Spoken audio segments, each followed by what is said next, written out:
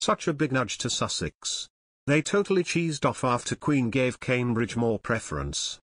Kate, Duchess of Cambridge and Prince William have been tipped to take greater control of events in the future, as they return from their protest hit tour. Kate and Prince William have been described as more media-savvy than their advisors by royal commentator Christopher Wilson. The expert wrote on Twitter, when the dust settles I think we'll see William and Kate, more media-savvy than their advisers, take greater control of events. Referring to the speech delivered by the Duke of Cambridge during a reception in Jamaica on Wednesday, which the expert claimed had been delivered on the advice of the Foreign Office, Mr. Wilson added, with that slavery speech, delivered on Foreign Office advice, William stepped into a political minefield. That won't happen again. Kate and William's eight-day tour of the Caribbean has been marred by protests and PR misfires, according to commentators.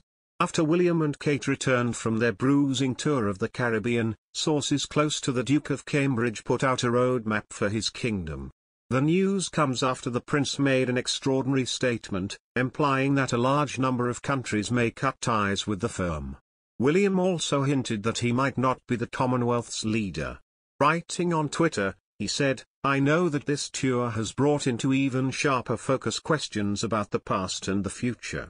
In Belize, Jamaica and the Bahamas, that future is for the people to decide upon. But we have thoroughly enjoyed spending time with communities in all three countries understanding more about the issues that matter most to them. William added, It is why tours such as this reaffirm our desire to serve the people of the Commonwealth and to listen to communities around the world. Who the Commonwealth chooses to lead its family in the future isn't what is on my mind.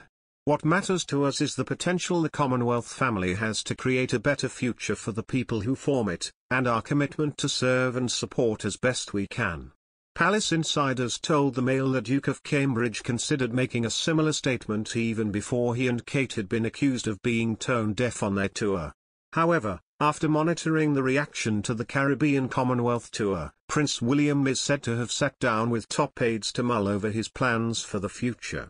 Protests erupted in Jamaica over Britain's role in the slave trade, and Prime Minister Andrew Holness declared his country's ambition to progress as an autonomous, developed, and rich country.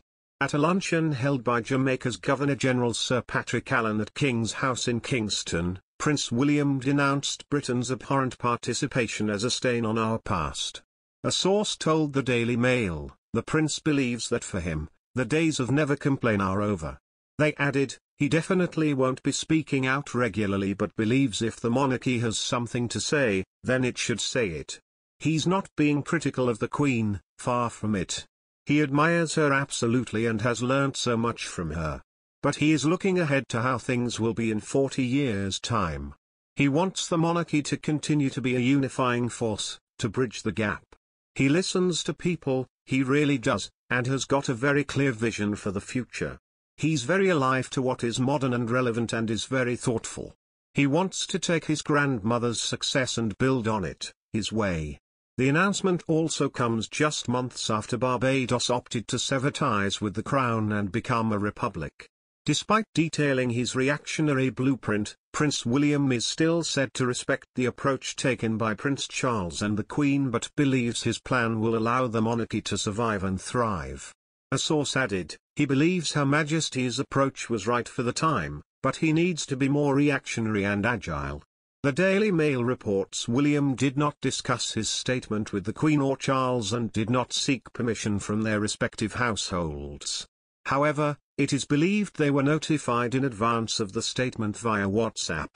One source speaking in favor of William's statement, told the Daily Mail, the prince's statement was powerful and progressive. It is the words of a future king laying out their own ethos in the modern world.